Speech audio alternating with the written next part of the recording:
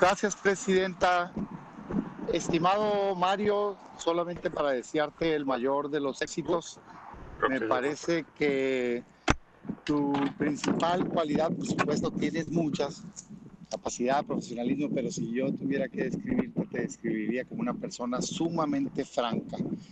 Y yo creo que esa franqueza es algo que se requiere en la función pública, porque los ciudadanos, pues por años, han estado cansados de gente que no les habla de frente.